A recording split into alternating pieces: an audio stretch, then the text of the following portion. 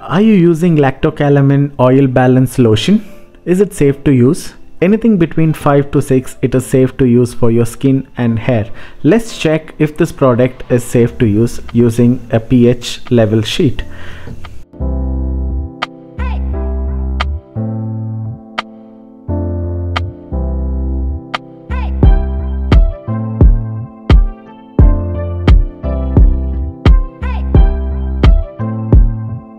Okay so this is the result. This is between 5 to 6 and it is safe to use